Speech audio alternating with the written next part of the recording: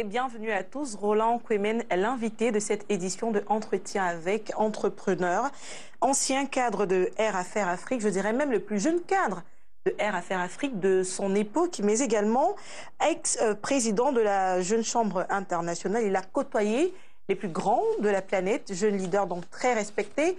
Son parcours, son expérience et surtout son apport pour bâtir une jeunesse camerounaise plus forte et plus consciencieuse euh, nous intéresse ce soir et encore, on va pouvoir explorer avec lui tout un tas de sujets, notamment sur le fonctionnement de certaines organisations internationales, par exemple comme la Jeune Chambre internationale. Roland Koumen, bonsoir et bienvenue sur ce plateau. Bonsoir Dora et merci pour l'invitation, surtout l'opportunité que vous m'offrez à pouvoir euh, m'exprimer sur des sujets aussi variables que la Jeune Chambre, mm. mon engagement euh, sur le plan de l'édification euh, d'une jeunesse plus responsable et dynamique, mm. mais aussi mon engagement panafricain. Mm.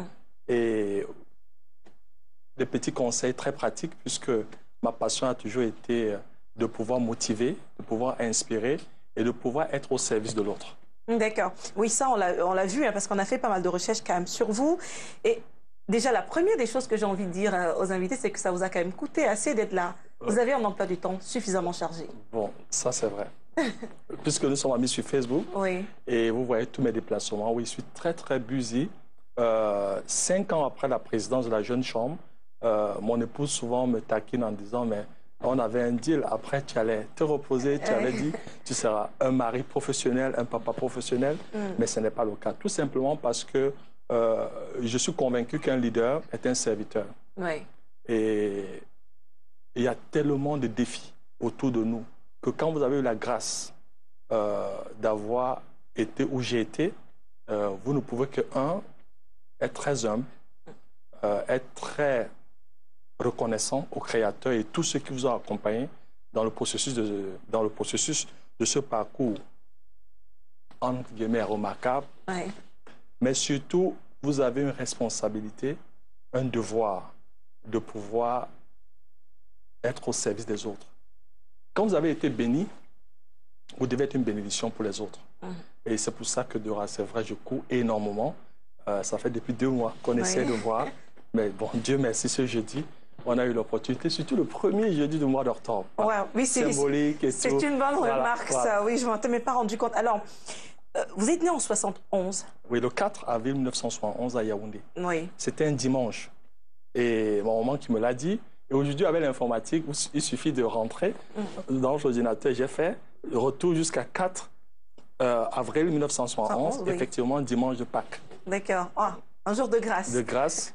Euh, vous me donnez l'opportunité de dire aussi que je suis catholique pratiquant mm-hmm. et depuis deux ans, président de l'Association des hommes catholiques du Cameroun. Donc oui, il n'y a pas seulement Roland Koumen qui est leader manager, qui voyage beaucoup, mais il y a aussi un Roland Koumen qui a un engagement spirituel assez profond. D'accord. Spirituel et religieux en même temps. Parce que euh, dans le contexte aujourd'hui, parfois spirituel, c'est pas forcément voilà. religieux. Et religieux. Oui. Mais comme il faut promouvoir la tolérance, je suis conscient aussi qu'il euh, ne faut pas trop en faire. C'est-à-dire, mais je suis catholique et très mm. fier de l'être. Mais bon, je préfère aussi beaucoup parler de la spiritualité parce que Dieu euh, est un peu partout. Mm-hmm. les musulmans, ils ont Allah. les chrétiens, vous avez vu, il y a tellement d'autres obédiences et tout. Euh, qu'il faut promouvoir la tolérance. Et le Cameroun est un exemple dans ce sens-là. Parce que là, vous avez vu, il y a deux jours, j'étais au Nigeria.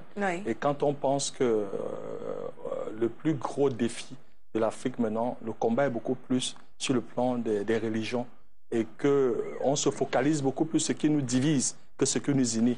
Ça fait que même quand on doit parler de la religion, il faut faire la promotion de la tolérance. Le Cameroun est un exemple. Justement, euh, ce débat sur les, les, les, religions en Afrique et la tolérance, et particulièrement au Cameroun, est-ce que ce n'est pas un, tout petit peu l'influence des organisations internationales de nous dire il y a euh, ce problème euh, de, de, radicalisation déjà en Afrique? Est-ce qu'on l'a réellement? Est-ce qu'on le ressent?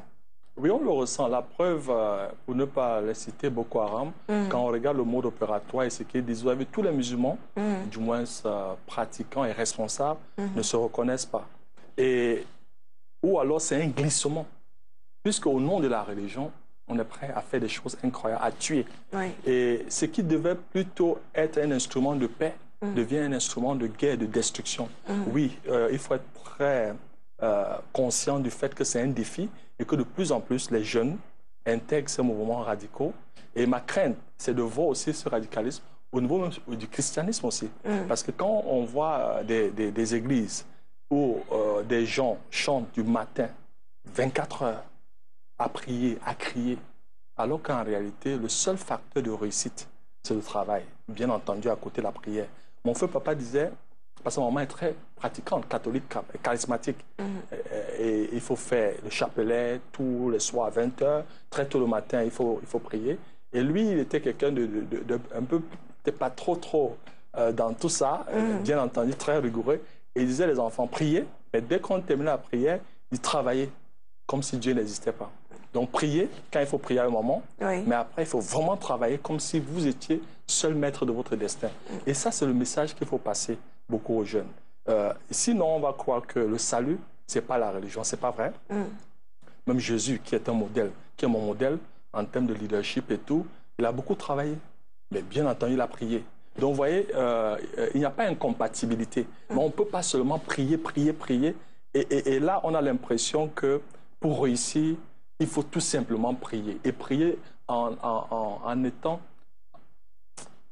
en, faisant tellement de bruit, le voisinage et tout, en chantant. Parce qu'en général, il y a des haut-parleurs. Voilà, des hein, haut-parleurs. On dirait des, ventes emportées, des boîtes de nuit. Oui, et, ça, il faut combattre. Il faut trouver le moyen. Au même titre que sur le plan de l'islam, il y a aussi des travers, c'est-à-dire des jeunes qui se radicalisent, mm. qui expliquent euh, les, écrits du prophète Mohamed autrement mm. et, tout. Donc moi, je pense, dans tous les cas, dans, chaque fois qu'il y a exagération, dans tout ce qu'on fait, manger, danser, travailler, il faut toujours trouver le juste milieu, la modération.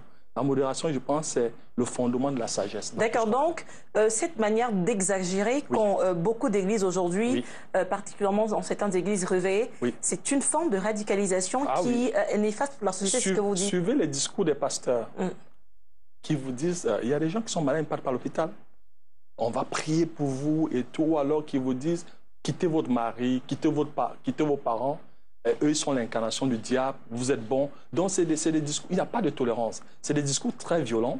Et il faudrait que les autorités et tous ceux qui ont en charge d'encadrer euh, les, églises au Cameroun parce que je n'ai pas cité de pays, j'ai fait beaucoup de pays, mais ça a pris une autre tournure. Je suis un grand musicien africain, pour ne pas citer Kofi Olomide, mm. qui se plaint que même euh, chez eux en RDC, euh, ça a pris une autre tournure telle que euh, même la musique, en termes de vente, ça a tellement baissé parce que même ces gars sont devenus, bon voilà, ça chante et, tout, ça va, donc, chacun se plaint. Et puis je réalisais, mais le grand Kofi qui se plaint et tout, c'est vrai.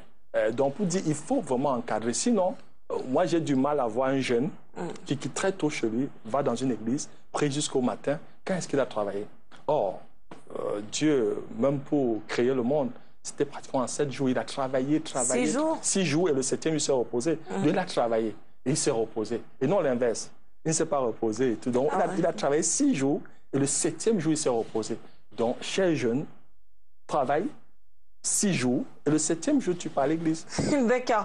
Alors, autre, euh, euh, ce côté vraiment religieux que vous ont transmis vos parents, notamment votre maman, oui. Euh, qu'est-ce que vous gardez également de comme souvenir? Déjà, est-ce qu'ils sont encore en vie, vos parents? Bon, ma maman a en vie, et puis elle regardera l'émission. Bien qu'elle se couche très tôt, après son chapelet, maximum 21, elle est là, elle est couchée, mais exceptionnellement, j'ai dit, maman, regarde la télé, ton mhm. fils va passer. Donc, oui, ma maman vit. Nous avons perdu notre papa en 2008. Toutes mes. Des suites d'accidents. Euh, mes parents euh, demeurent des modèles. Euh, ma maman s'est mariée à l'âge de 15 ans. Mon papa avait 26 ans. Et puis, je suis le premier et ils ont fait 10 enfants. Nous sommes 10 et les 10 sont vivants.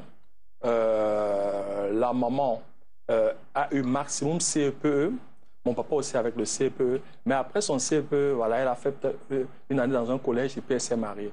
Mais c'est une dame, je, garde d'elle euh, tout ce qui est esprit d'entreprise. Si aujourd'hui je suis un entrepreneur, c'est grâce à maman. Euh, ces fameux beignets haricots dans la restauration mobile, mm. au centre d'instruction à Moutingene, mon papa était policier, instructeur, donc j'aime toujours préciser. Dans mm-hmm. toute sa carrière, il a, il a été enseignant. Et la petite blague, il nous a laissé une maison en carabote. Donc, pour que les téléspectateurs du monde entier comprennent, une maison en, matériaux provisoires. D'accord, voilà vos parents d'ailleurs voilà, voilà, voilà. Euh, c'est ce qu'il a, il a laissé. Mm. Mais c'est quelqu'un qui, euh, en termes de valeur, la rigueur, il fallait travailler. En tant qu'enfant, j'étais très malade. Et mes camarades d'enfance le savent. Roland était chétif, toujours malade. J'ai fréquenté à peine 4 mois, 4-5 mm. mois sur une année scolaire de 8-9 mois parce que j'étais très maladif. Et beaucoup de, beaucoup de, tontons pensaient même que je n'allais pas survivre. Et mon papa, malgré euh, cette fragilité sur le plan physique et même sur le plan de ma santé, est resté trop exigeant mhm. envers moi. Et c'est lui qui me fera comprendre qu'il n'y a pas de leadership sans responsabilité. Et par exemple, je me rappelle, quand je revenais, et si les notes n'étaient pas très bonnes, euh, il disait, il y a deux catégories de personnes ceux qui vous donnent les raisons pour lesquelles ils ne réalisent pas leurs rêves, dont le premier R, et ils sont nombreux, et ceux qui sont euh, orientés résultat. Mon fils, ça ne m'intéresse pas que tu sois malade, je veux le résultat. Et tu me donnes l'opportunité de rendre un hommage appuyé à ce grand monsieur, à mon, héros, qui, est, qui était que policier, qui n'est mhm. pas connu, mais qui a élevé 10 enfants et 7 cousins, ils ont 17, dans une maison de deux chambres, un salon, des conditions très modestes mais où j'ai vu l'amour, la générosité. Et ça, ça me permet d'interpeller d'autres parents. Pourquoi mm. c'est important qu'un enfant grandisse, lui, à papa et maman? Ce n'est pas forcément le bien matériel, mais cette affection. C'est-à-dire, malgré le fait que sur le plan matériel, on est très modeste, c'était vraiment difficile, mais on avait l'affection de maman et la rigueur de papa.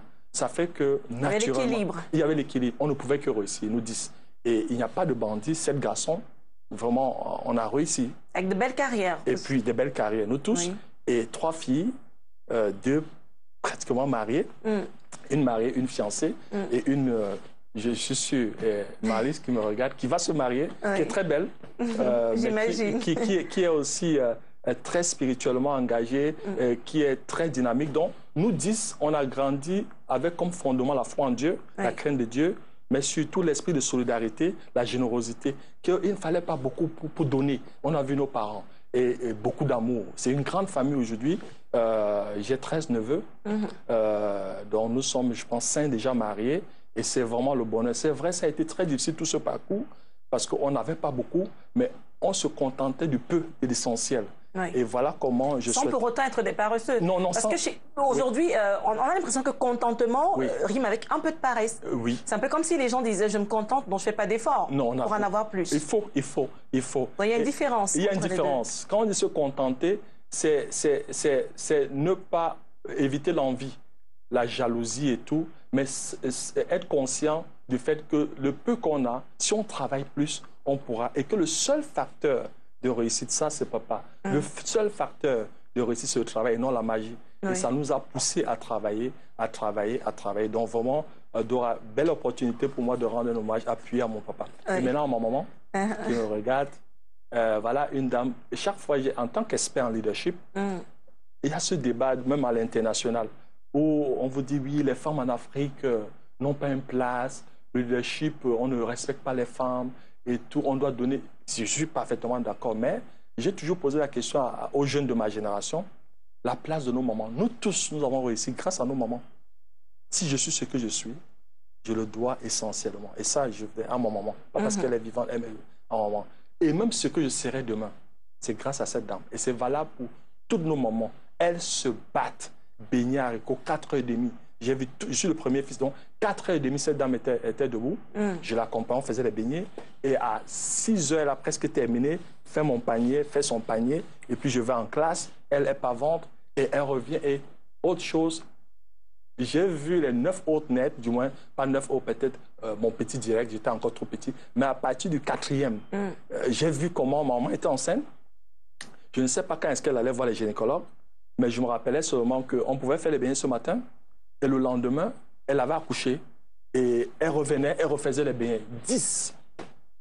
Imaginez si ce n'est pas ça être un leader, encadrer 10 enfants que vous avez accouchés et sept autres cousins, mais se battre, Et c'est valable pour tous les autres moments. D'accord, mais, mais, justement, comme ils ont ce leadership naturel euh, que leur a pratiquement donné Dieu, on va dire que ça c'est du fait de la création, euh, est-ce que euh, pour autant les hommes devraient dans le monde actuel penser qu'elles doivent être confinés à ces tâches-là et eux continuer d'occuper les premières places C'est une erreur stratégique si on le fait. Dans mes deux entreprises, les femmes ont une place de choix. Pas parce que,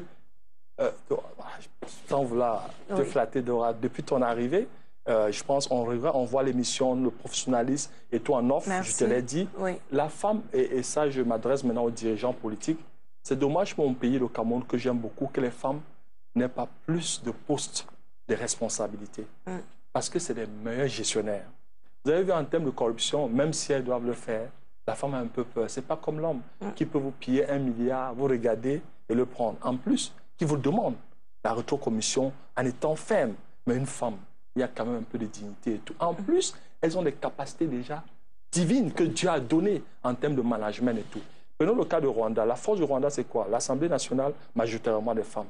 Euh, ils ont fait confiance. Le président Kagame a fait deux choses essentielles valoriser la femme et la jeunesse. Mhm. Voilà les deux piliers sur lesquels tous les pays africains, s'ils veulent vraiment émerger, pour moi, l'émergence, la modernité, la prospérité, c'est cette équation-là. Il faut faire confiance aux jeunes et aux femmes. Donc, je suis d'accord avec vous qu'il faut vraiment faire confiance. Et aussi, maintenant, dire aux femmes, voilà, battez-vous apparemment. Euh, si vous attendez les hommes, ça va... Il faut savoir arracher. Il faut savoir arracher. Et, comment ça peut, elles peuvent l'arracher aujourd'hui dans le contexte camerounais? Sur le plan politique, euh, déjà, euh, c'est de tout faire. Et là, vous avez vu une grande dame comme feu Madame Founing. Mm. Vous croyez que les hommes ont fait des cadeaux à ces dames Pas du tout. Zéro cadeau. Zéro cadeau. Donc, c'est de se battre. Et la solidarité horizontale. C'est quoi la solidarité horizontale entre les femmes déjà? Euh, J'espère que les femmes célèbrent Dora et que les jeunes ou les aînés, les grandes sœurs journalistes de Dora vont dire cette jeune fille-là, il faudrait qu'on la tienne par la main. Mm. Parce que les leaders, les grands leaders au monde que j'ai eu la chance de rencontrer, se battent que les jeunes soient meilleurs que eux. C'est valable pour les parents. Un bon père de famille, le cas de mon feu papa, le rêve de tout parent, c'est que l'enfant soit meilleur que lui.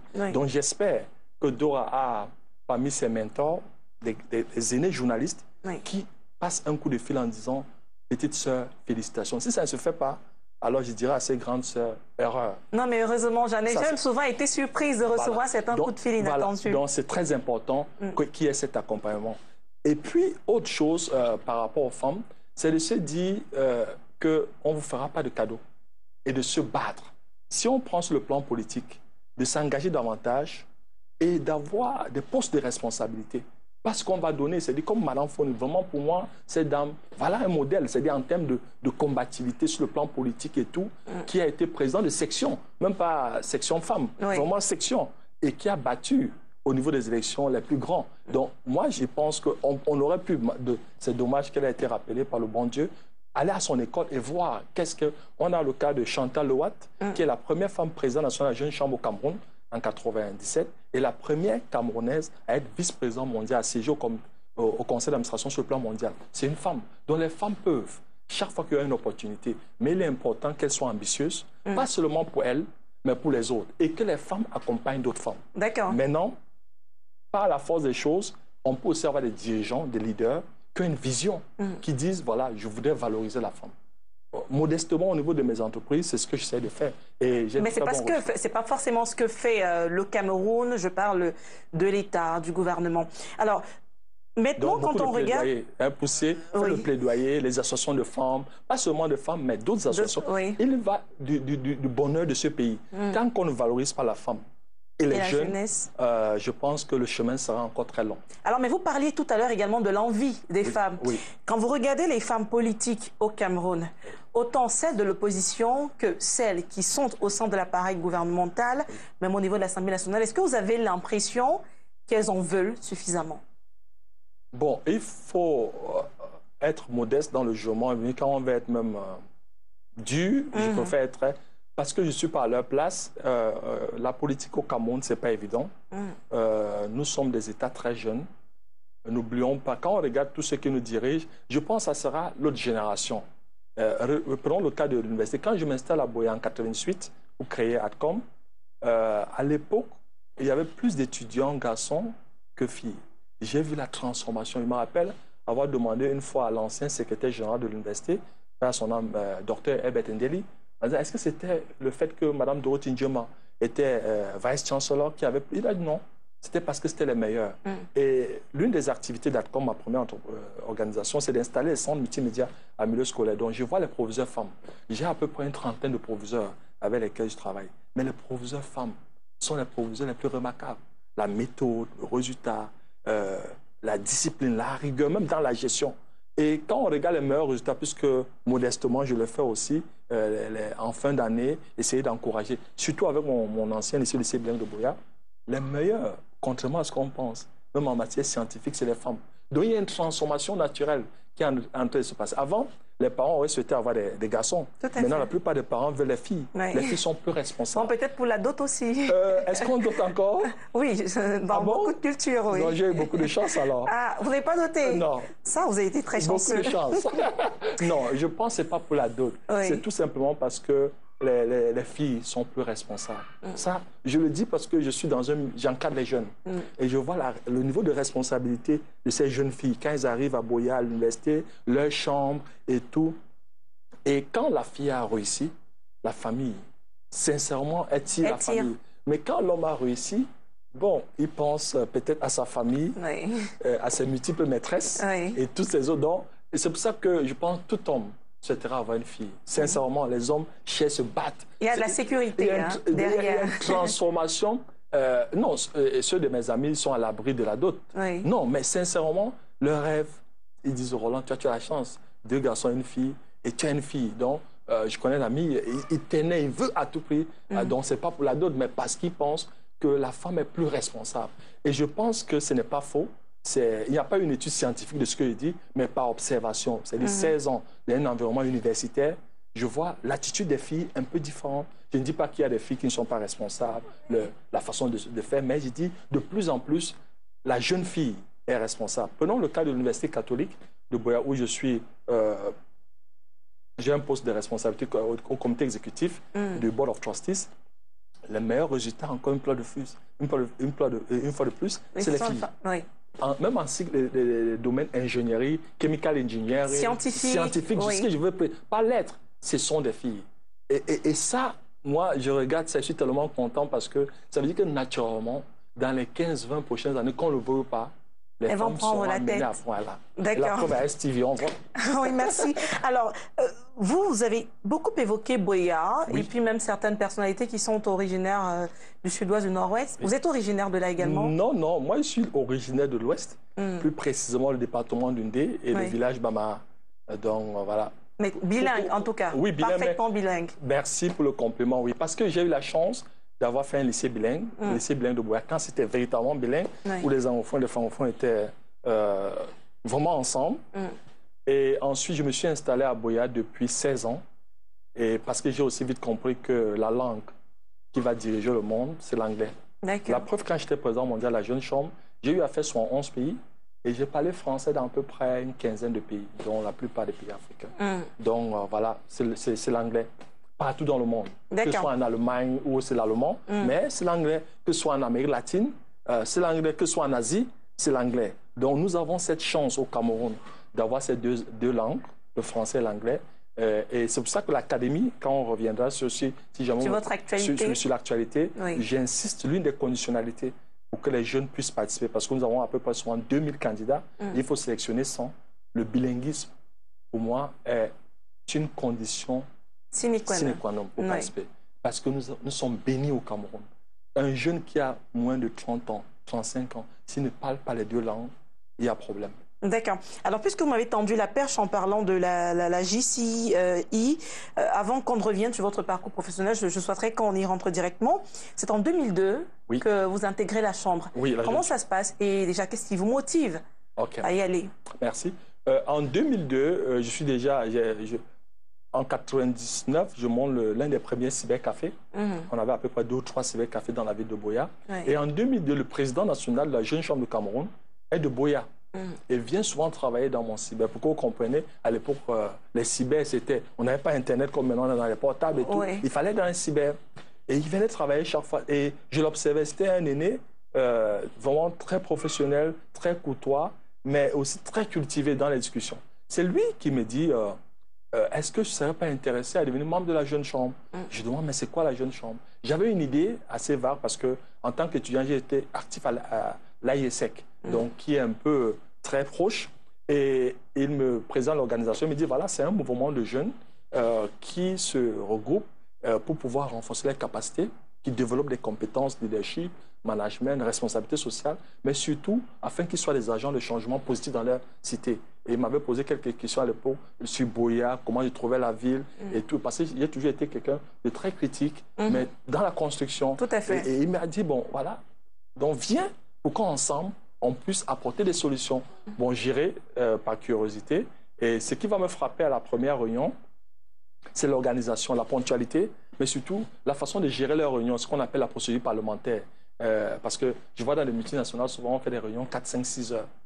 J'ai dit, Seigneur, on peut pas, une réunion ne doit pas durer plus d'une heure. Hmm. Une bonne réunion. Parce qu'après, on est fatigué. Voilà, on est fatigué. Ça veut dire, si on fait 5, 6 heures, ça veut dire qu'il y a quelque chose qui n'a pas bien marché. Hmm. On n'a pas bien planifié l'ordre du jour, le contenu. Il n'y a pas eu de, préparation avant. Et la jeune chambre, c'est là où je vais euh, apprendre cette méthodologie. Et rapidement, quand je rentre maintenant euh, le, parce que c'est les premiers mercredis à l'époque à Boya, et je rentre, j'essaye au niveau de mon entreprise, parce que j'avais cette culture de, faire des réunions. Et on va faire en 30 minutes, les collaborateurs seront surpris. Mm. Et, là, ce que je veux aussi aimer, c'est le fait de pouvoir contribuer euh, à, faire de Boya une très belle ville. Nous allons planter des arbres euh, à Boya. On va faire un concours qui est parce qu'il n'y a pas de leadership sans l'art oratoire. Mm-hmm. et il y a un concours chez nous, au niveau de la jeune chambre locale de Boya, où euh, on fait venir des, jeunes d'à peu près 10 lycées de la ville de Boya, 10 lycées et collèges privés, euh, sur le concours d'art sur des thèmes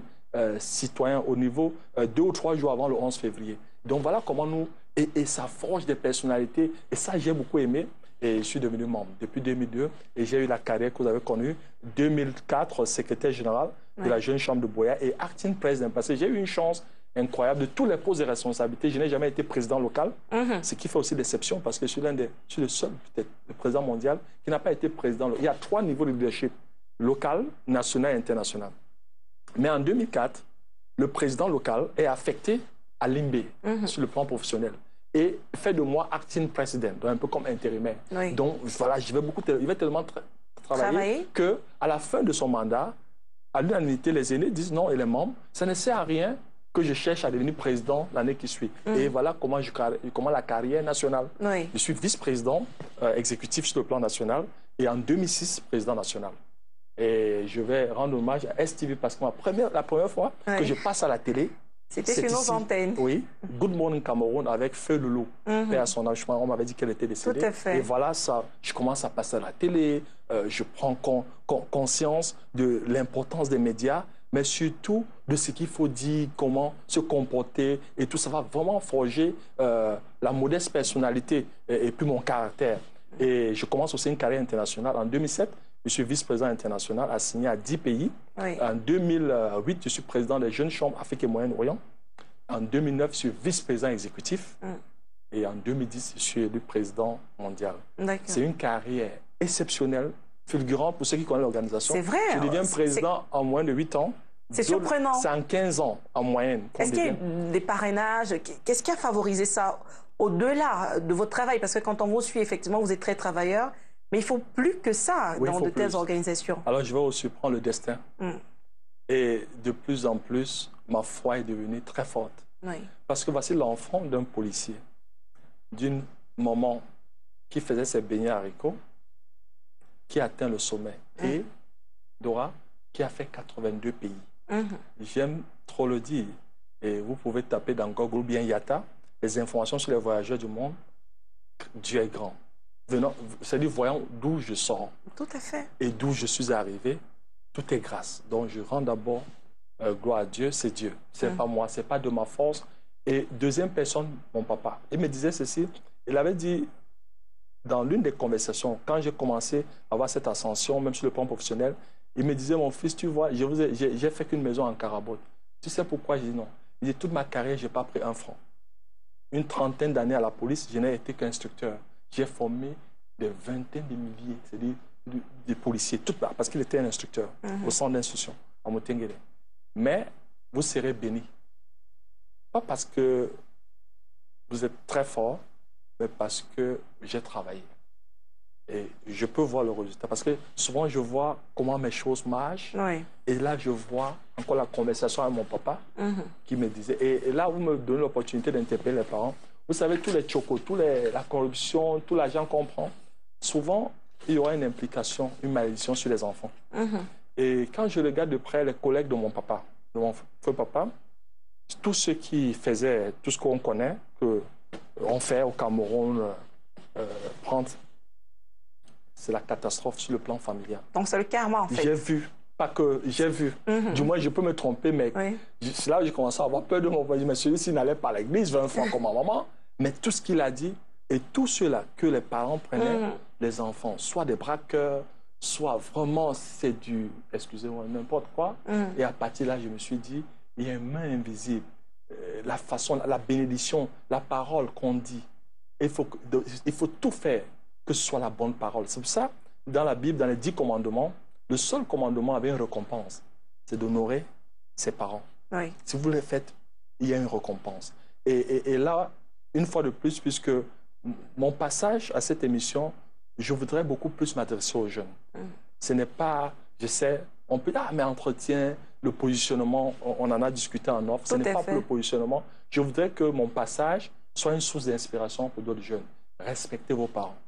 Respectez et soyez fiers de qui vous êtes. Soyez fiers de vos parents. Vous avez besoin qu'ils vous bénissent.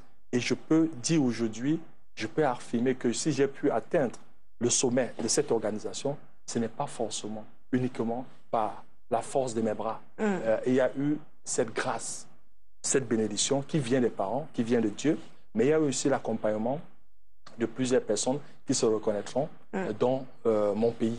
Euh, pour que je sois euh, candidat, il a fallu que le président de la République du Cameroun, le président Paul Biya, puisse, euh, comment on dit en anglais, endorse. Mhm. Et j'avais besoin d'avoir un statut de diplomate. Donc, il m'a donné ce statut.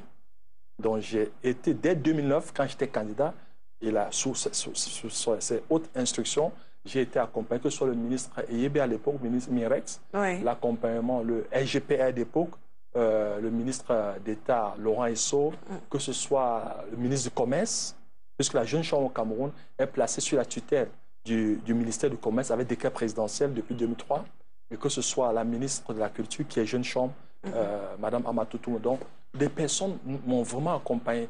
Et, et, et maman dit de toutes les vertus, la mère de toutes les vertus, c'est la gratitude. Savoir dire fait. merci à tout cela. Et puis, ne jamais oublier, j'ai dit, je citerai toujours les 25 millions de francs CFA Ouais. euh, remis par le président pour ma campagne. C'est vrai, nous avons dépensé près de 70 millions.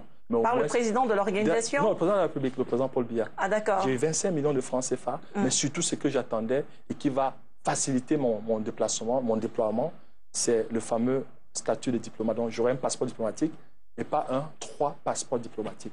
Parce qu'un passeport pour les visas Schengen, qui me permet, ce, ce passeport va me permettre de couvrir toute l'Europe. Oui. Je vais faire une trentaine de pays européens. Un passeport pour les Amériques, dont euh, États-Unis et l'Amérique latine, hormis Canada, parce que je vais prendre Canada. Euh, et puis un passeport pour l'Asie-Pacifique, donc avec un visa japonais, un visa coréen, un visa euh, indien, Inde. Je vais couvrir tout l'Asie-Pacifique. Et pour la petite histoire, il paraît que j'étais le seul à avoir. À l'époque, le ministre me disait, Tu- vous là, vous avez toujours. Donc tout est grâce. Oui. J'ai tout eu ça, donc de l'opportunité. Assez facilement. De- oui, assez, assez Alors, facilement. Oui, assez. Oui, Ouais, assez. on, on va relativiser. De toutes les manières, on- parmi les missions que vous étiez assignées, euh, quand vous êtes devenu président en, en 2010, vous disiez que vous comptiez augmenter Oui. le nombre euh, d'adhérents Oui. à la GCI. Déjà, combien en avait-il et combien en a-t-il eu après votre mandat? Euh, bon, nous étions à l'époque à peu près, on arrondit, mais nous sommes à à peu près 185 000. 185 000 Mhm. euh, membres à l'époque. Mais ce que je fais l'augmentation, c'est parce que je vais créer un nouveau mot de Impact of One. Je ne crois pas à l'augmentation du chiffre, mais beaucoup plus à plus de pays. Donc, on va faire venir cinq nouveaux pays.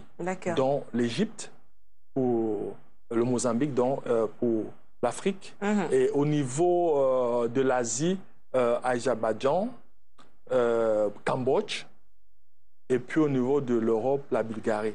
Donc voilà les cinq nouveaux pays qui seront, après, à la fin de mon mandat à Osaka, à- qui seront admis à la jeune chambre dans cinq nouveaux pays et on va quitter à l'époque de 115 à 120 pays. Mm. Donc là, on a fait ce travail. Autre chose qu'il y avait, la promesse qu'il y avait, c'était le, le paludisme. Oui. Euh, euh, quand je suis élu, chaque 30 secondes, un enfant meurt en Afrique à cause du palu. Quand je fais mon discours le 10 novembre 2010 à Osaka, chaque 45 secondes, on a gagné 45 secondes. Autre soutien, on va mobiliser près d'un million de dollars en termes de fundraising, Mm. de levée de fonds des membres, 10 dollars, 5 dollars, parce que nous sommes quand même près de 200 000 membres Oui. et qu'on on remettra au secrétaire général des Nations Unies, M. Ban Ki-moon, en tant que soutien. Parce que la Jeune Chambre, depuis 1954, a des accords de partenariat avec les Nations Unies. D'accord. Et pour le Cameroun, vous disiez, euh, euh, outre le, le paludisme, où vous, vous parliez de euh, la distribution et l'utilisation de la moustiquaire Moustiquaire, imprégnée, oui.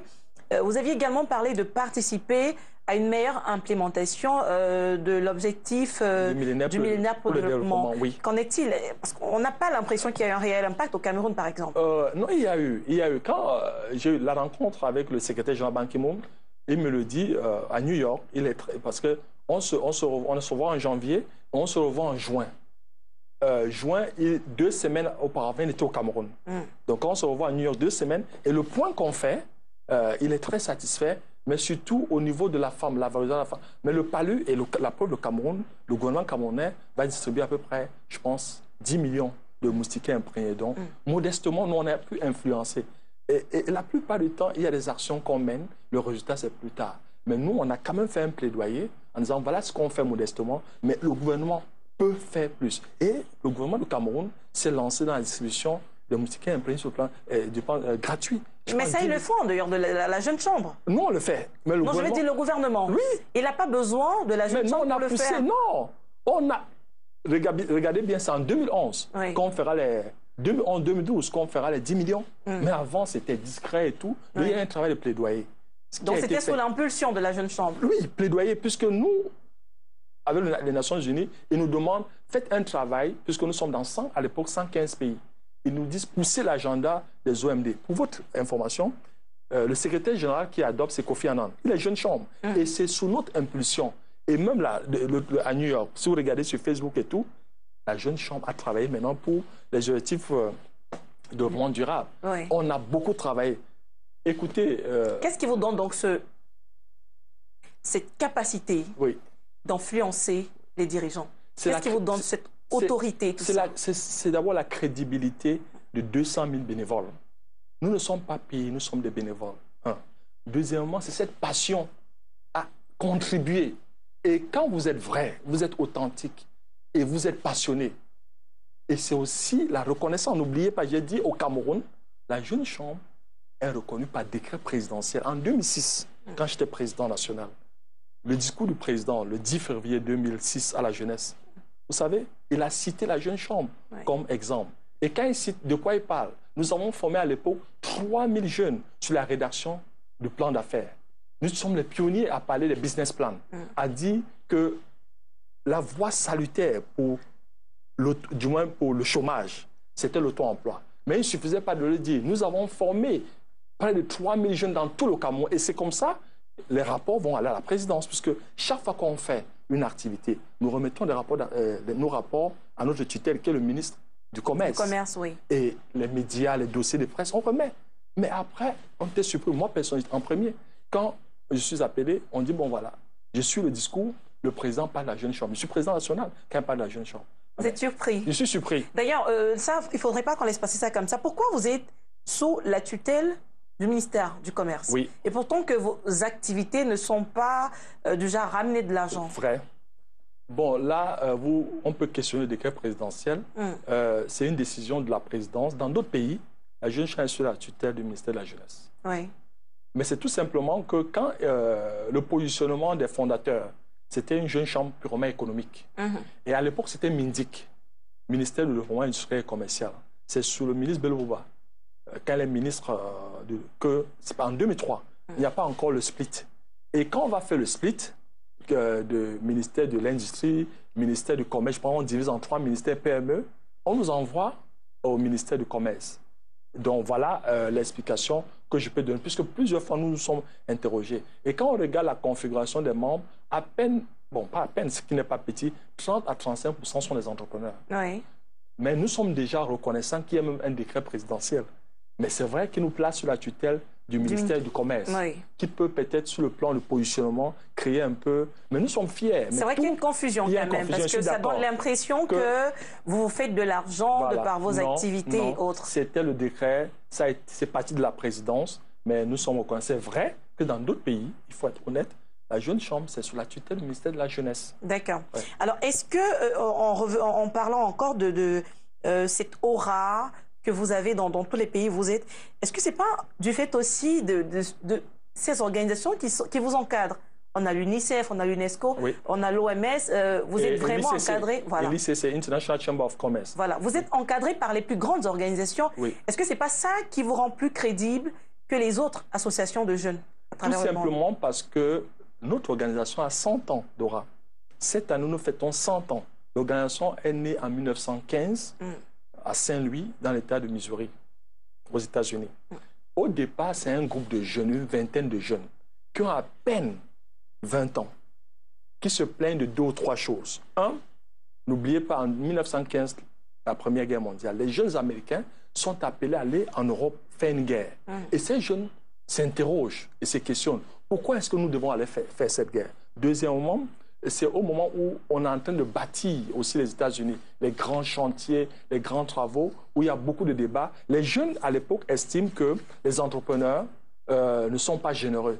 Euh, comme ils disent, sont greedy, euh, sont un peu radins, et que on ne... il y a eu tout, cette, tout ce conflit de génération. C'est écrit, c'est 1915, notre fondateur. Mm. Et troisièmement, ils estiment que les hommes politiques sont corrompus. Voilà les trois grande discussion que nous trouvons dans les documents euh, de notre fondateur. Donc, imaginez, 100 ans après, est-ce qu'il y a la paix dans le monde? Est-ce que les jeunes sont amenés à faire la guerre? Oui, toujours de problèmes. 100 ans après, est-ce que les entrepreneurs, les grands industriels sont généreux ou chiches ou radins Le débat se pose. Mm. Est-ce que les jeunes euh, euh, sont satisfaits et contents de leurs dirigeants politiques? Je dis non. Mm.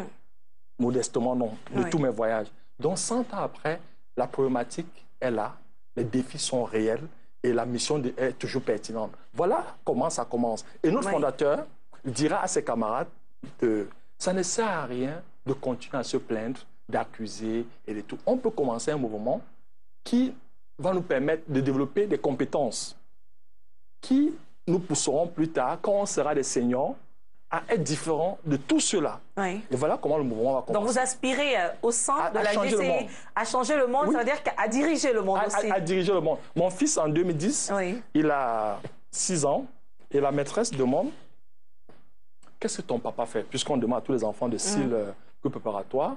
Et il dit euh, Il a donné une réponse J'étais en Turquie et mon épouse était aux États-Unis.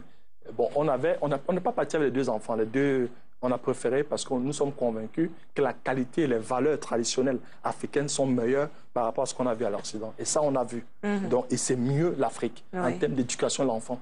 Et on était en contact avec eux chaque fois, mais on ne pousse plus, puisque je voyageais beaucoup. Elle dit, ben, on on a, j'ai appelé la maîtresse, il y a un petit souci. J'ai dit, qu'est-ce que William a encore fait? Euh, William a dit quelque chose d'extraordinaire à la maîtresse. En réalité, on demande, qu'est-ce que ton papa fait? Il dit, son papa voyage profession. Et tout le monde arrive comme moi, tu entends des rideaux.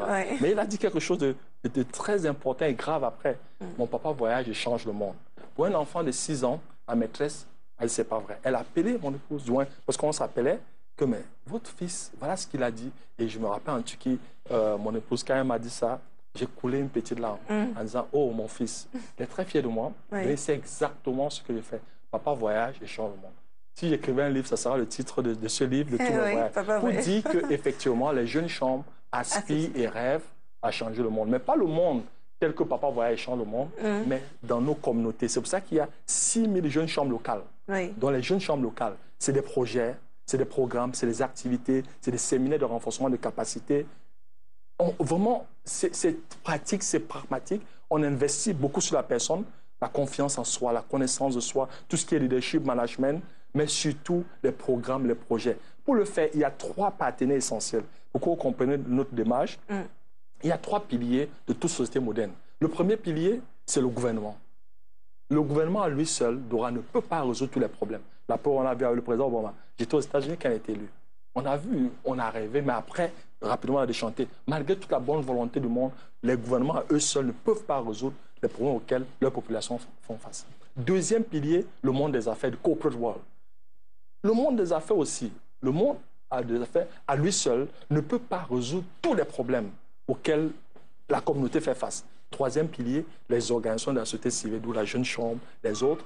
Mais ces organisations ont la bonne volonté, ont de très belles idées, ont un rêve, mais à elles seules, elles ne peuvent pas. Alors la solution, c'est le partenariat. Et c'est là où la Jeune Chambre, vous allez voir, nous avons des accords avec l'État, nous avons des accords avec le monde des affaires, et nous avons des accords même avec d'autres organisations de la société civile. Donc la solution, c'est le partenariat. Donc voilà ce qu'on fait, la Jeune Chambre, concrètement, pour pouvoir changer le monde. D'accord. Et combien de leaders mondiaux sont sortis, ou disons plutôt sont passés par la Jeune Chambre?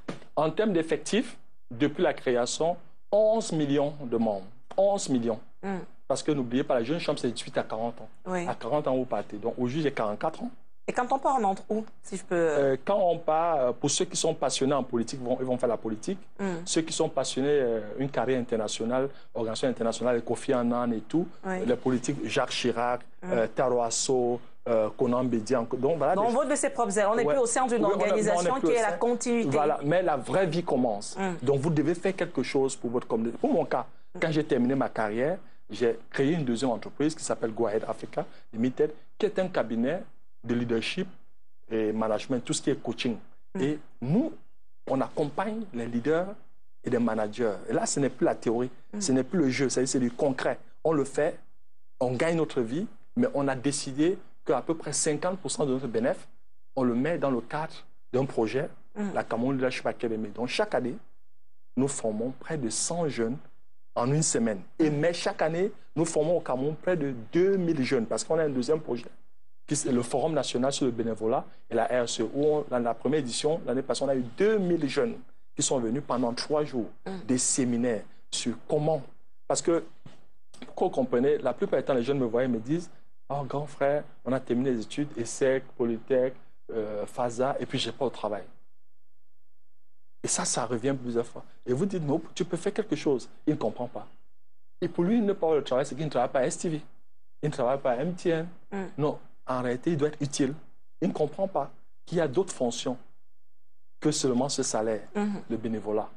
Ou un jeune qui a une licence, euh, pas, une licence en chimie ou en mathématiques, s'il n'y a pas de travail, qu'est-ce qu'il fait? Il peut décider d'être au service des autres. Et il y a plus de plaisir à donner qu'à recevoir. Et en donnant, on reçoit automatiquement. Mhm. C'est le cas, on peut voir Obama. Le parcours, il finit à Harvard, brillantes études, il décide de rentrer à Chicago. Mhm piégé de, donner quoi à l'université, tout le monde sait. Que il est passé à la jeune chambre aussi, Barack Obama Malheureusement. Mais Clinton, aux États-Unis, 12 mm. chefs d'État. Sont passés par la jeune, chambre. Donc JFK, Ford, euh, Kennedy, mm. Nixon, euh, George Bush, père. Donc voilà, parce que c'est toute une institution. Et au Japon, pratiquement six premiers ministres, dont le premier ministre actuel. Donc là-bas, c'est toute une institution. Donc c'est important que le jeune se rende compte que après les brillantes études, même quand il n'y a pas d'emploi, et même quand vous avez l'emploi, Puisqu'en réalité, j'aime toujours demander aux jeunes comment passez-vous 24 heures? Ils me regardent. Si vous prenez 24 heures, vous faites 24 divisé par 3. C'est 8. Mm. Il y a 8 heures de travail, tel que l'OIT, le BIT le dit. 8 heures. 8 heures de travail, pas au travail. 8 mm. heures de travail. Parce que je connais les Camerounais. Écoutez-moi, pas 8 heures au, travail, mais 8 heures de travail. Oui. Après, il reste 16 heures. Vous avez 8 heures pour dormir. Ça, c'est pour.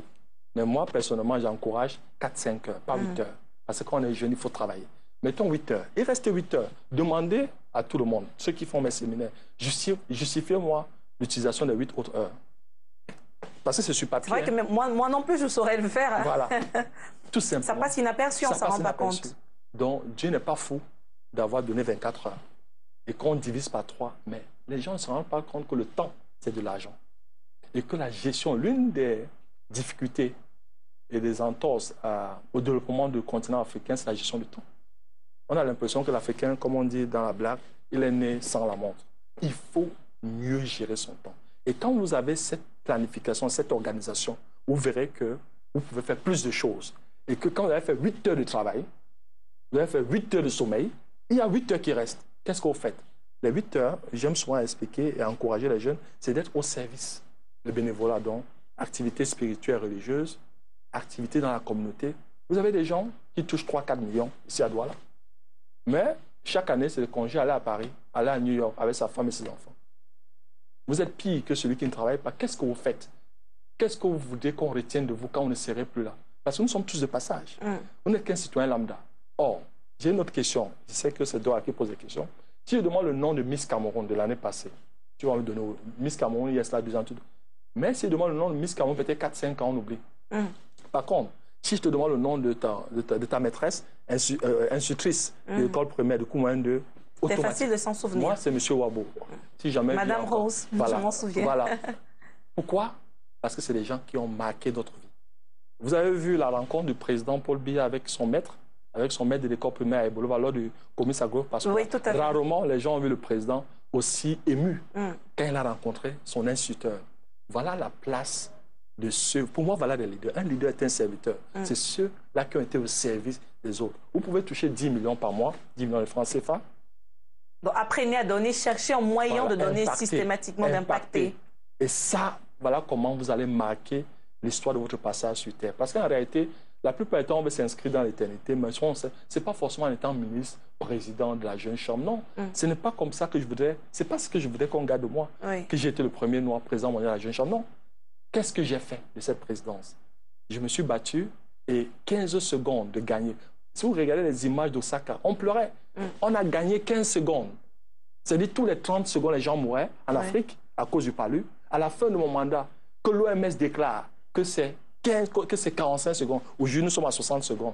Voilà le travail qu'on fait. Et la plupart du temps, il y a des trucs, des choses que nous on fait et qu'on ne va même pas voir le résultat. Mhm. Donc moi, je voudrais que ce soit, et je m'adresse à ces jeunes cadres qui ont des belles voitures, qui roulent ici et qui sont indifférents. Ils n'ont aucun engagement communautaire, aucun engagement citoyen, indifférence. Vous savez, le malheur des Camerounais et des Africains, on veut bâtir un Cameroun différent. On veut bâtir une Afrique différente, mais avec des personnes indifférentes. Tout à fait. C'est pas possible. On doit s'engager, on doit être militant. Il y a tellement de causes. Même quand on ne voulait pas faire la politique, il y a tellement de choses. Regardez autour de nous. La ville n'est pas propre. L'architecture, elle est moche. Désordre architectural, vraiment sale. Euh, il y a le sida, le palu, le, le chômage des jeunes. Il y a tellement de défis que quand je pense que les gens vous disent non rien à faire, je commence à m'interroger. Parce qu'il y a tout à faire. Et je ne voudrais plus qu'un jeune me dise qu'il n'a rien à faire. D'accord. Moi, Alors, manches, je fais quelque Tout chose. ça est tellement passionnant. Vous voyez, je suis pratiquement en train de faire, comme on dit au quartier, de boire vos paroles, parce que vraiment, euh, tout ce projet et tout ce que vous avez réalisé, c'est impressionnant. Mais, et ça, vous le disiez, vous aviez également l'intention, à travers le marketing et la communication, de repositionner l'organisation, L'organisation. notamment sur le plan de l'image. Vrai. Est-ce que vous êtes euh, conscient de l'image que les gens ont de, des organisations comme la Jeune Chambre, un certain nombre de jeunes Oui. Vous savez ce qu'ils pensent? Oui. Et qu'est-ce qu'ils pensent? Beaucoup euh, ont la perception que c'est un cercle fermé, euh, que nous sommes des ordres et tout, mais c'est faux, archi faux. Si nous étions des ordres, je serais le premier à ne même pas être membre, de Mm. par les valeurs. Et là, ma maman m'écoute, elle sait, je ne serais pas membre. Oui. Je pense que c'est une organisation de renforcement de capacité. Mm. Moi, ce qui me fait mal, il y a une amie qui a fait un post sur Facebook, un enfant, je pense, au nord-ouest, qui avait une maladie, on a mis sur Facebook. Et j'étais étonné de voir les, fi- les- les commentaires, sorcellerie, des trucs. Non. Mm. Vous savez, quand on est malade, on part à l'hôpital. Et vous voyez, on va vous dire, pour travailler à STV, il faut faire ceci, pour travailler. à- Non. S'il est vrai que la corruption a gangréné notre société, Mm. que le tribalisme est, est- en train de prendre des proportions, mais il est très vrai. Là, c'était mon papa qui me disait. Mm. Je me rappelle quand j'ai fait le concours du centre universitaire, je dois là le cycle euh, technicien supérieur action commerciale. Quand on a fait la première partie, et j'ai eu une conversation, c'est très proche, comme d'habitude, proche de maman. Le papa était exigeant et autoritaire. Mm. J'ai dit, maman, on nous a dit que pour le concours, là, après, il faut choco. Elle m'a demandé, il faut à peu près combien? Ah, c'est les mamans. J'ai dit, bon, mes camarades, j'ai 19 ans, hein. Euh, il faut peut-être 200 000. Moi aussi, c'était les commentaires qu'on disait. Mm. Naturellement, elle a dit à son mari, qui est mon papa, que euh, Roland, il paraît que pour le concours là, comme il a fait là, il faut qu'on se prépare. J'étais admissible. Il faut. Mon papa, c'était la dernière fois, je ne vais jamais oublier, j'ai eu une paire de gifles. J'étais en terminale. Il m'a dit, jamais, plus jamais. Un, tu dois passer ce concours. Tu, tu feras ce concours et tu dois passer. Sans qu'on débourse le moindre Il n'y aura même pas un franc. Et deux, après, il me dit, fais tout pour être parmi les cinq premiers. Et là, on ne riait pas parce qu'on pas. C'était pas mon ami. Hein. Mm. Il devient mon ami plus tard. C'était quelqu'un. de- Il me dit, tu fais tout pour être parmi les cinq premiers. Maintenant, je ne refuse pas qu'on peut mettre deux ou trois noms, mais les premiers sont les premiers. Oui. Dora, j'étais major de ma promotion au concours d'entrée. Parce qu'il savait vous booster. Oui, il m'avait poussé. Alors, je souhaiterais quand même, euh, Roland Kouemen, qu'on s'intéresse davantage à cette perception. Oui. Parce que même sur le post que j'ai fait sur notre émission d'aujourd'hui, Oui. j'ai vu euh, les, les réactions. Parce qu'en même temps, on, on est, euh, j'ai la chance d'être votre ami sur, sur Facebook. Oui. Il y a cette certitude que certains ont, certains qui ont même participé à, à certaines de vos réunions, qu'ils disent, euh, ils ont l'impression que, au-delà du développement personnel, il y a quelque part des ordres. Oui. Que vous êtes une antichambre, par exemple, de la franc-maçonnerie. C'est pas vrai. Vraiment, c'est la plus haute autorité. J'ai été président mondial. Oui. si je n'avais pas atteint les sommets, ce que j'allais dire n'allait pas être crédible. On allait dire, non, mais Roland, ça me rappelle euh, mon enfance. Oui. Vous, savez, vous êtes brillant à l'école primaire. On vous dit, non, le cours 1 est facile. Vous allez au cours 1, vous êtes premier. On dit, non, non, vous allez voir en sixième. Moi, ça a toujours été ma vie. J'ai été président mondial. Je suis le premier noir président mondial à la Jeune Chambre. Oui. Et j'aime blaguer. Il faut travailler.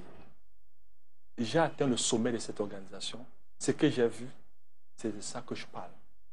Je reconnais qu'il y a beaucoup de lobbying parce qu'il y a tellement d'intérêts. Et là, euh, la discussion que j'ai vue, euh, tel que le post, tu l'as fait sur Facebook, euh, comment on fait à l'intérieur, FIFA, CAF, Tout et tout. fait. Il y a beaucoup de lobbying. Ça, au même titre que la FIFA et tout, il y a beaucoup de lobbying. Si je deviens président, c'est pas parce que le Cameroun est fort, tout simplement parce que le Japon, je peux le dire aujourd'hui, m'a soutenu. Le Japon, à la Jeune Chambre, c'est 45 000 membres sur les 200 000 membres. C'est-à-dire, c'est- c'est c'est énorme. Ouais. J'ai eu le soutien du Japon, j'ai eu le soutien de la France, j'ai eu le soutien des États-Unis. Donc, c'était clair. Et puis, l'Afrique s'est aussi mobilisée, que ce soit la Côte d'Ivoire, le Bénin, le Nigeria, euh, le Burkina Faso, le Cameroun. Donc, il y a eu cette mobilisation. La plupart du temps, les Africains étaient fragilisés parce que souvent, il y avait deux, trois candidats. On était vraiment unis. Et donc, c'est ce que je peux dire de l'organisation. On ne sommes l'antichambre de rien. De rien du Nous tout. sommes une organisation de renforcement de capacité et de, qui pousse les jeunes à s'engager dans leur communauté. D'accord. Il n'y a Alors, rien de secret. En 2012, euh, Donc, je Jeune voudrais Afrique. rassurer les jeunes. Oui, il n'y a Ah, pas. N'ayez pas peur, venez à la Jeune Chambre comme à l'AISEC Oui. et d'autres organisations. Renforcez vos cas, cultivez-vous, lisez. N'ayez pas peur, pas euh, peur, de- voilà. que ce soit une loge ou Je autre serai le chose. premier à vous demander de ne pas le faire. D'accord. Alors, en 2012, Oui, Jeune Afrique révèle que même euh, chez nous, sur le continent, oui, euh, dans les milieux politiques, économiques et religieux, il y a euh, la franc-maçonnerie qui s'est infiltrée. oui. Euh, sauf que la plupart du temps, et ça c'est Jeune Afrique qui le dit euh, d'après ses enquêtes, la plupart même de nos leaders ont du mal à accepter qu'ils sont dans la franc-maçonnerie. Donc vous avez côtoyé beaucoup de, de- de leaders, ils vous ont peut-être pas dit s'il était. Est-ce que vous avez été au moins approché pour rejoindre une loge? Non, Jamais. jamais. Jamais. Avec Et- tout et- cet aura, Oui. c'est vrai que c'est un peu surprenant. C'est très surprenant, n'est-ce pas? Oui. Tout simplement parce que si vous êtes cancre, ces organisations dont vous citez ne, feront pas de vous. Et c'est une erreur. Oui. Dora, chaque fois, et ça, je, je voudrais regarder la caméra avant de le dire, à un jeune, chaque fois que tu veux faire quelque chose, fais-le par conviction. Lis, cherche, sois curieux, fais-le par conviction. Euh, on ne force personne à faire quelque chose. Mhm. J'ai tout du mal. Et les jeunes vous disent, oui, on n'a pas le choix, on devait faire comment? Euh, Une jeune qui, pour accéder à des postes de responsable, pour une jeune dame, Mm. elle n'est pas obligée d'aller au lit avec les responsables, non. Si vous commencez, donc ne le faites pas. Faites Oui. tout par conviction et assumez. Tout à fait. Donc mon conseil à les- aux jeunes qui veulent vraiment Gravir les échelons. ne vous compromettez pas. Le seul facteur de réussite, c'est le travail. Et puis il y a le destin. D'accord. Alors, on va refermer très rapidement ce sujet sur euh, euh, les pratiques mystiques au sein des, des- des grandes organisations euh, internationales. Sur euh, la bande d'images que, que j'ai pu voir, vous avez ce collier, Oui, cet immense collier oui. qu'on voit chez beaucoup d'ailleurs Oui. de vos frères, vos amis au sein de leur organisation, et qu'on voit également sur beaucoup de grands leaders politiques, cette immense chaîne, est-ce que c'est pas au sein des, des, des, des enfin, des ordres qu'on donne souvent cette une, chaîne? c'est une tradition américaine. La Ouais. Jeune Chambre, n'oublions pas, est une, organisation à la base américaine. Mm. Le siège aux États-Unis, c'est une tradition américaine. Si vous regardez en Afrique, les chefs d'État, un peu l'Afrique de l'Ouest, Mm. euh, quand on vous intronise président de la République, c'est cette chaîne. Au Cameroun, il y a la mairie, je pense c'est au niveau des reins, Oui. et puis les députés. Donc c'est le symbole du Mm. pouvoir. Mais c'est vraiment symbolique. Au même titre que dans nos sociétés euh, traditionnelles secrètes, Mm. vous avez vu le Ngondo, le Ngone ou euh, le, le festival médium de le Lankan et tout. Il y a des symboles, mais c'est vraiment symbolique. Mm. Mais pourquoi beaucoup voir- de leaders du monde, je veux dire, même si c'est symbolique, est-ce que on n'a pas forcément la même culture? Et ça, vous l'avez dit avec le ruban, Oui, quoi, mais oui, pour les maires au Cameroun.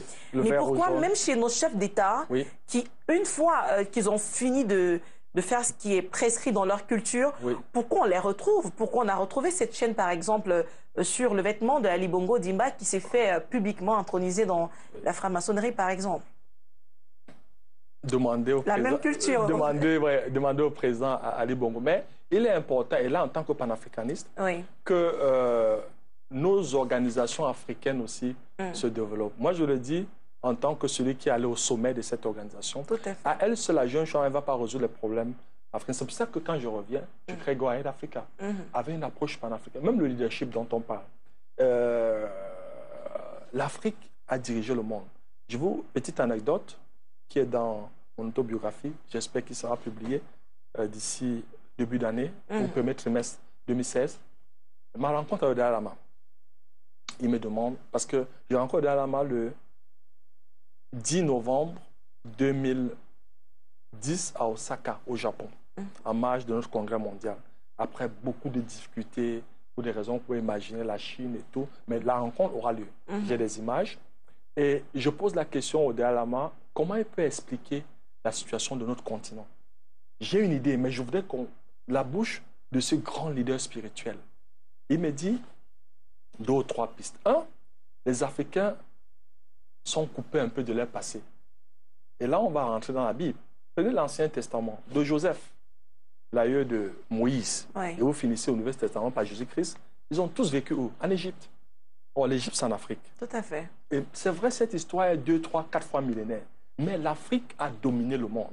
Il y a eu des pharaons noirs. C'est pour ça que quand vous allez, vous allez voir qu'on a cassé les, le- Les nez. Parce que c'était les nez épatés comme ton nez et le mien. Oui. Donc, il y a eu, j'ai dit 3 4 000 ans. C'est une, une histoire très lointaine, mais il faudrait que les Africains sachent que.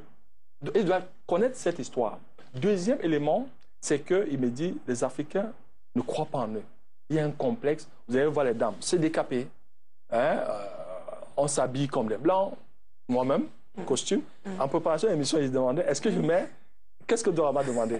Parce qu'il fallait que les téléspectateurs sachent. Oui. Alors, je vous ai dit, vous Mais- pouvez mettre un costume ou même euh, une tenue traditionnelle. Oui, ça c'est vrai.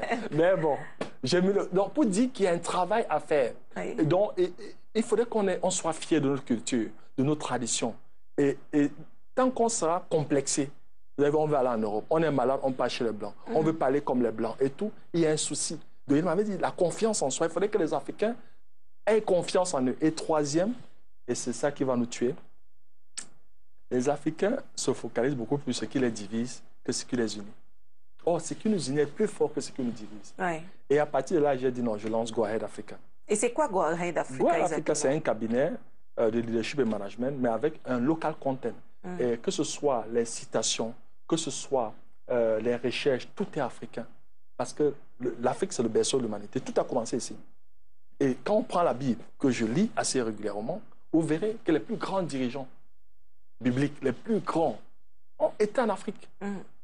L'Afrique a été le berceau de la civilisation. Malheureusement, les Africains ne sont pas conscients. Donc, c'est le travail qu'on fait sur le plan leadership et management. En disant, on peut gérer une entreprise multinationale, une grande entreprise, en, utilisant les outils de, de management africains. Mm. Donc, le leadership, ce n'est pas une invention occidentale ou américaine ou orientale. L'Asie a son, sa façon. La première fois que je vais au Japon, c'est en 2005, l'Académie de leadership du Japon. Et je me rends compte que je regarde la, femme, la place de la femme dans cette société. Je suis, je n'en reviens pas. Et les restaurants, chopstick. Mm. La façon, de, vous allez dans la maison, vous retirez vos chaussures. Ça, c'est comme ça. J'étais reçu par les deux Qui que, premiers vous, ministres. qui que vous soyez. Que vous soyez. Mais c'est le Japon. Par contre, Dora, c'est le plus beau pays que sur les 82, c'est le Japon. La technologie, ils ont pris de l'Occident tout ce qui était meilleur, la technologie, mais ils ont gardé les traditions. Or, l'Afrique, c'est quoi? Nous sommes maintenant comme les chauves-souris, ni animal, ni oiseau. Parce que même la culture, on est en train de perdre. On n'est ni des blancs, parce qu'on ne sera jamais blanc, on peut enlever toute la peau. Mais on n'est pas aussi noir, parce qu'on on commence à changer. Mm. À la fin, on n'est ni animal, ni oiseau, un peu comme la chauve-souris. Si on dit réunion des animaux, des mammifères, la vient, on dit non, mais toi, tu as les ailes. Oh, mais quand chez eux, ah non, mais toi, tu es comme une souris. Voilà la situation du continent. D'où notre engagement au niveau de Goaed, qui est une entreprise, Oui. mais avec, je dis bien, 50% de nos revenus dans le renforcement des capacités, dans les formations. Ça, vous voyez dans les posts Facebook, je fais une quinzaine de pays africains par Oui. an.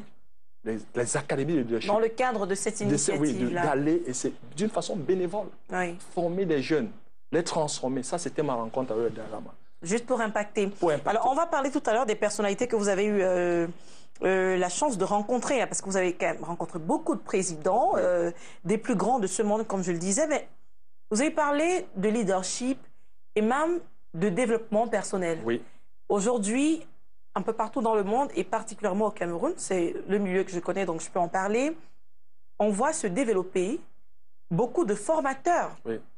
en développement personnel. Personnel. Mais est-ce que tout le monde peut former? En développement personnel Ouais, ça me rappelle euh, une participation à une émission de TV d'une chaîne concurrente. Oui.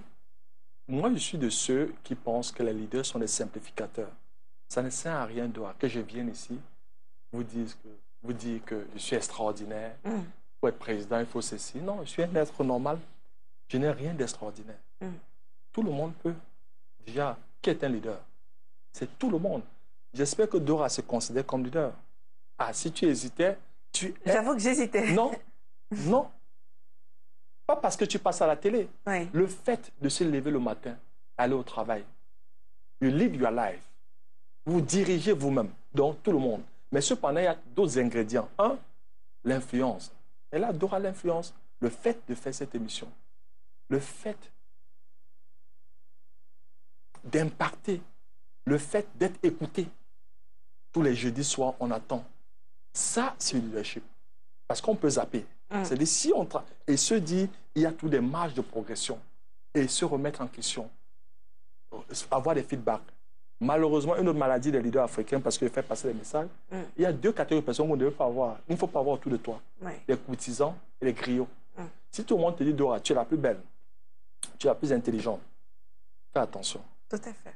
Il faut dire aussi que c'est pour ça que j'ai aimé ton post sur Facebook. Ah, je vais recevoir. Je ne veux pas seulement encore un Roland Commerce ceci. Mm. Je voudrais, parce qu'il y a une marge de progression. Pour moi, là, Dora, le meilleur est devant moi. Tout Je n'ai même encore rien fait. Si Dieu me donne la vie, je ferai plus que ça. Donc le meilleur reste à venir. Se remettre en question et avoir autour de soi des personnes qui peuvent, avec toute l'affection et l'amour du monde, te dire l'émission d'aujourd'hui, il y a eu ça. Moins bonne que. Voilà, il y a eu ça. Là, c'est comme ça qu'on peut progresser. Donc, un leader doit avoir l'influence, influence positive. Un leader doit inspirer. L'inspiration, ce n'est pas forcément les discours. Dans la Bible, Moïse était bec, mais il avait Aaron. Donc, on n'est pas, pas les grands discours qui, fait, qui, vont, qui vont faire de vous un leader, parce qu'il parle bien la chat, et on connaît les Camerounais, de très bons parleurs. Mm. Même Roland Cohen parle bien. Mais ce n'est pas ça. Je ne voudrais pas me définir Mhm. par mes discours. Par contre, un leader, c'est un serviteur. La preuve, ton institutrice, Oui. mon, mon instituteur, parce qu'ils nous ont servi. C'est pour ça qu'on ne va jamais les oublier. Donc, un leader est un serviteur. Donc, Dora est un leader. Donc, tous ces gens-là qui, aujourd'hui, euh, s'improvisent un tout petit peu formateurs en développement personnel, ce sont des Il faut, leaders. regarder, il, faut, il faut regarder leur parcours. Oui. Ceux qui sont modestes voudraient qu'on puisse les accompagner. Il y a les jeunes qui viennent vers nous, Mm. qui n'auront pas la chance de faire le tour du monde, Mm. euh, d'avoir comme clients euh, les, les plus grandes boîtes d'Afrique, comme c'est mon cas. Mm. Non, mais aujourd'hui, nous avons recruté encore deux juniors. L'Université catholique, j'ai pris le meilleur, la major- le major de la promotion. J'ai dit, tu viens. Il y a un autre jeune de AISEC que j'ai pris parce que je voudrais les accompagner. On dit en anglais leaders, gross leaders. Yeah. Les leaders forment des leaders. Donc, je ne peux pas, ici, en cette précieuse émission suivie par des millions de personnes, dire cela, ils ne sont pas des coachs, ils ne mm. sont pas des experts, non. Je pense, je, je ne dirais pas et, au sein de... Par contre, oui. tous ne sont pas bons. Mm. Euh, mais ils doivent avoir l'humilité de continuer à apprendre. Dans cette émission, dans l'autre chaîne, j'avais expliqué la démarche. Les médecins deviennent des coachs, les ingénieurs. D'abord, c'est une passion. Mm-hmm. Regardez mon background. Donc, euh, euh, marketing, après, j'ai fait un master en management international et tout. À l'Institut de la Banque mondiale. il y a tout ça, vous faites. Il y a les formations académiques, mm-hmm. mais il y a aussi la pratique, les séminaires et identifier des mentors. Mm-hmm. Et c'est le cas, il faut toujours avoir, parmi les journalistes du Cameroun, je suis sûr, il y a un ou deux que tu as l'admiration et qui vont te tenir. Moi, j'ai eu des gens qui m'ont tenu. Donc, mm. chacun un coach. Samuel, toi, un coach. Ça peut être un coach pour comment s'habiller, comment se mettre, mm. comment parler, comment manger et tout. Il y a des coachs, on est accompagné. Donc, mais surtout, moi, ma, ma crainte avec euh, ce que je vois, c'est l'imposture. Je suis d'accord que des gens sont experts en tout et pratiquement en rien. Et mm. ça, ça me pose un petit problème. Mais je ne voudrais pas donner de leçons. D'accord. Mais au sein de la, classe politique camerounaise, oui. ça vraiment que ce soit au niveau de l'appareil gouvernemental ou alors dans l'opposition, est-ce qu'on a de vrais leaders quand on a appris tous les critères que vous avez élaborés? Est-ce qu'on en a beaucoup, des leaders? Alors, petite blague, chaque peuple, c'est un problème musulman, oui. chaque peuple a des leaders qu'il mérite. Ah, d'accord. faudrait que. Ça, j'aime toujours dire. Parce que dans mes déplacements, j'ai beaucoup de rencontres avec la diaspora. Mm. Et il y a toujours, oui, le Cameroun, oui, c'est si le président bien comme ça, vraiment les ministres, vraiment on insulte. tout Je dis, mais.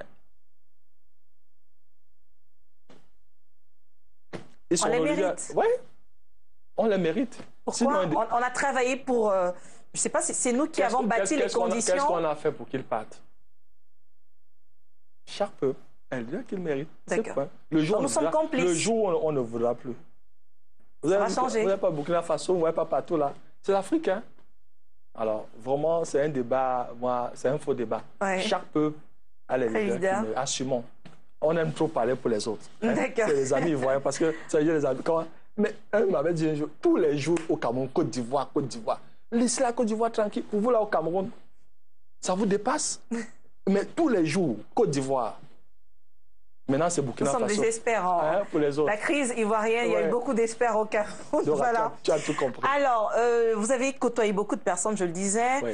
Citez-nous quelques-uns. Déjà, je vais mentionner que le pape a baptisé votre enfant. Oui, Benoît XVI, oui. Oui, il m'a reçu dans la famille et tout au Vatican. Hmm. Oui. C'était en quelle année? le, 17 novembre 2010.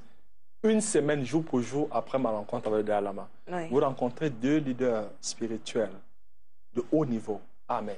Dora, tout est grâce. C'est une grande expérience. Quand on a terminé cette expérience, euh, mon épouse coulait les larmes au Vatican, elle n'en revenait pas. Et surtout, on était frappé par l'humilité de tous ces grands leaders. Donc, euh, c'est, tout est grâce. Tout est grâce. Et ce qui frappe de, la rencontre avec tous ces grands, je dis ces grands du monde, c'est l'humilité. Oui. C'est vraiment des gens, vous terminez la rencontre, je me rappelle une autre blague, mon épouse dit, tu es sûr qu'on était vraiment avec le pape? Je dis, je pense que c'était le pape. Bref, vous dire parce que, voilà, et la blague, c'était, il nous avait dit, euh, comme lui, c'est Benoît, le fils, c'est Enzo. D'accord. Alors, euh, il dit, il espère que c'est son cadeau. Mm. Je dis, ah, je ne sais pas comment on va négocier qu'il reste. Donc, c'était des blagues. Je dis, mm. bon, on verra, il pourra revenir un peu plus tard. non, mais parce que, bon, quand on vient voir le pape, il y a un petit, j'avais un petit truc du Cameroun, thé. Bon, j'ai dit, l'enfant, tu vous dis, est-ce que c'est le cadeau Il souhaitait rester. Et moi, ma crainte, c'était que, euh, parce qu'il était très violent, euh, il avait six mois, qu'il puisse brutaliser. Mais il était cool, il était. Bon, je dis, Enzo, il a, il a cinq ans. Et chaque fois, quand on vient à la maison, mon pape, bon, il ne mm. sait pas, il ne sait pas que ça a changé, que maintenant c'est François. Vous avez rencontré Silvio Berlusconi aussi? Non, par contre le président de l'Assemblée nationale. D'accord. Donc, euh, Francisco, j'oublie son nom de famille, oui. Le président du Parlement, oui, il hmm. m'avait reçu. D'accord. Oui. Et beaucoup d'autres présidents. Les, oui, lesquels, par exemple? Kagame, je sais celui que tout le monde aime sur Facebook, c'est Robert, Mugabe. Hmm. Euh, alors, euh, avec le président Mugabe, c'était très bien parce que quand j'arrive, l'entretien est prévu pour 15 minutes, on va faire 45 minutes. Et c'est très houleux. Parce qu'au départ, euh, je commence à, je tiens ce discours oui, les dirigeants africains. Vraiment, j'étais. Il m'a écouté. Au départ, c'était Mr. President, Monsieur le Président, Monsieur. On était, était. Et puis il a dit bon, maintenant mon fils. J'ai compris que là, il fallait que hein, je m'asseye un peu bien là. Tout à fait. Alors il m'a dit. C'est dans le livre, donc je souhaiterais vraiment que le livre soit des anecdotes, mm. mais je, il aurait été tellement gentil. la conversation, c'était, moi, j'étais un peu inquiet du fait que tous ces dirigeants qui, qui s'éternisaient, hein, comme on au dit, pouvoir. au pouvoir, et la perception que l'Occident avait, il, m'a écouté religieusement. Mais après, quand il m'a dit, mon fils, écoute, est-ce que si tu étais président du Cameroun, tu accepterais que 60 à 70% des terres appartiennent aux Blancs? Et puis il m'a dit, que sa difficulté et son malheur arrivent lorsqu'il fait la réforme agraire. Pourquoi? Parce qu'il est président depuis 80. C'est en 2000, 2000, 2000, quand il fait la réforme, mm. que maintenant son malheur, ses malheurs commencent. Parce qu'il estime. Et on a aussi beaucoup discuté sur l'Afrique du Sud à l'époque. Il disait, voyez l'Afrique du Sud, est-ce que véritablement c'est ça qu'on veut? Où à peine 3% des Noirs ont la richesse. Donc, c'était euh, des discussions qui m'ont vraiment secoué. Je sors de cette audience un peu secoué. Ça, il, faut... il a bousculé quelques idées. oui. Et quand je rentre, et surtout que aux États-Unis, ça je peux le dire au niveau de l'organisation, le Bureau mondial ne voulait pas que je parte hmm. au Zimbabwe par rapport aux critères d'évaluation qui est bon, qui est méchant. Le rapport des États-Unis était. Et puis, je me rappelle la discussion avec euh, mes conseillers africains. Et un m'avait dit Mais Roland, si tu ne pars pas au Zimbabwe, comment tu sauras ce qui se passe? Mm to... Et puis, il y avait une opportunité. Il, il voulait me rencontrer. Le président voulait le fait que ce soit le premier noir et tout. Mhm. Donc, il tenait et il m'a reçu. Et quand on a eu cette conversation, je ne dis pas que je suis fan-fan, mais j'ai revu quelques positions. Hein? vis-à-vis de lui. Euh, on doit faire attention de ce que les médias occidentaux disent sur le continent. Entre ce qu'on dit et la réalité. Et deux, il appartient aux Africains de résoudre leurs problèmes. Mm. Ce pays a été sous embargo, mais ce pays n'a jamais... C'est-à-dire c'est à partir de cette difficulté que ce pays aussi s'est développé. Il y a eu cette solidarité et le fait que les jeunes sont mis à se battre parce que tout était bloqué sous un, vous avez un nombre d'années, le Zimbabwe est toujours debout. Bien entendu, il y a des, reproches qu'on peut faire au président Mugabe. Mm. Mais je pense que la plupart du temps, euh, l'Occident est trop exigeant. Et comme il m'a dit... Trop intéressé aussi peut-être. Intéressé et un peu bias mm. et un peu d'arbitraire. Parce qu'il a dit, si c'est pour la durée au pouvoir, ils sont nombreux. Suivez mon regard. Donc, si c'est sur le fait qu'on dit qu'on truque les élections, la plupart du temps en Afrique, après les élections, les gens se plaignent toujours. Euh, il a dit, mais d'autres même, à la fin, les enfants les remplacent et tout. Donc, euh, je, suis sorti de là vraiment avec beaucoup d'interrogations. Oui. Pour comprendre pourquoi il y avait. Tout à fait. Voilà. et à partir de là, j'ai dit, on doit, se, on doit beaucoup se méfier. D'accord. Alors, avant d'aborder la, dernière question sur. Euh, pas vraiment une question, hein, mais voir ce que vous conseillez justement aux jeunes. C'est vrai que vous avez parlé de beaucoup de choses. Peut-être encore une autre confidence d'un autre chef d'État, parce que quand on a la possibilité de causer avec eux, souvent il y a des confidences, des choses qu'ils ne disent pas en public qui peuvent nous dire. là, je veux parler du président Blaise Compaoré. Hmm. Il m'a reçu deux fois. Le seul, du moins, ce qu'il me dira, c'est son passage à Yaoundé. Euh, le respect qu'il avait des Camerounais en mm. termes de dynamisme, qu'il était toujours impressionné et que lorsque son épouse, parce que là, euh, il m'a reçu, et puis moi aussi reçu lors des cinquantenaires des indépendances, euh, quand le Cameroun célébrait, on a eu une autre réunion et tout. Et il disait à la veille, son épouse avait été allée dans des écoles primaires avec la première dame, mm-hmm. Chantal Biya, et que ce qu'il marquait, et puis le commentaire, du moins la discussion avec son épouse, c'était ce dynamisme même des enfants. Et, il, vraiment, il me le disait, mais le mm. président Roland, bravo, les Camerounais ont quelque chose. Il y a quelque chose que les Camerounais ont et tout. Et je me rappelle, euh, il disait aussi son amitié, on a parlé de son amitié avec euh, Abedi Pelé, parce qu'il était obligé de rentrer. Mm. Euh, il n'avait pas fait les 3-4 jours, parce qu'il avait fait une promesse à Abedi Pelé euh, sur un projet et tout, et qu'il fallait qu'il rentre. Je n'ai pas eu le courage, et ça, euh, pourtant, c'est l'un des rares présidents où j'ai le huis clos. Mhm. C'est-à-dire, on était à- c'est-à-dire l'audience, après, nous restons à deux. Oui. Donc, je pouvais po- poser Beaucoup de questions. Ça devait, c'était, sur ce qui s'est véritablement passé avec le président Sankara, parce que Mm. naturellement, je suis sankariste. Oui, et il y a toujours ce rôle trouble qu'on oui, a que- oui, attribué à Compaoré. oui, mais c'est, quelqu'un de, de très cool Mm. et très courtois. Dans l'échange qu'on a eu. Et ma modeste connaissance, euh, et aujourd'hui, avec la petite expérience de leadership, je le vois dans, quand je coach dans les entreprises et tout, il y a des moments où, Dora, même ici à STV, il suffit euh, que je ne connais pas un peu l'organigramme de l'entreprise et le poste que tu occupes, que quelqu'un vienne dire, si tu as un numéro 2, et quelqu'un vient dire à ce numéro 2, Dora veut ta peau. Hein? Et on dit au numéro 2, non, et le numéro 8, je te Oui. dis que la numéro 2 veut ta peau. Le plus faible va dégainer. Mhm. Parce Dans- qu'il est vulnérable Voilà, et qu'il a dans peur. cette histoire, il fallait que quelqu'un meure. Mhm. Et avec le recul, quand on lit tout ce qu'on a lu, je pense que Sankara était très grand. Il a préféré mourir. Ouais. Donc voilà à peu près ce que j'aurais souhaité. Euh, j'ai pas, j'ai beaucoup hésité. Oui.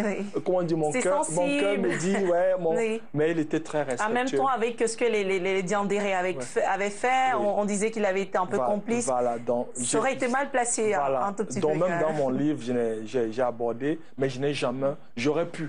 À un moment, j'ai un peu de regret, mais euh, il, a- il était très respectueux et courtois. D'accord. Voilà. Mais est-ce que, justement, pour avoir rencontré beaucoup de leaders euh, mondiaux, même ceux qui sont souvent euh, taxés d'être des, des dictateurs, Oui, euh, des hommes cruels même, oui, est-ce qu'on n'a pas l'impression que c'est un peu comme ce dont on parlait pour ce qui est des loges, que les gens, quelque part, ils essaient toujours de se blanchir, de s'humaniser. Vous n'avez pas eu cette impression? Bon, pas avec moi. Qu'est-ce qu'ils avaient comme Oui, peut-être?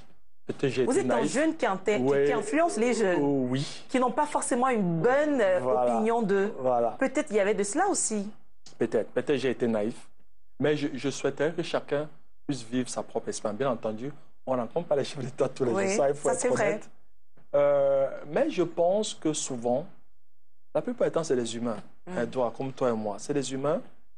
Et il y a trois personnes qui peuvent véritablement les juger. Le peuple, dit Mm. pour les chefs d'État, l'histoire Oui.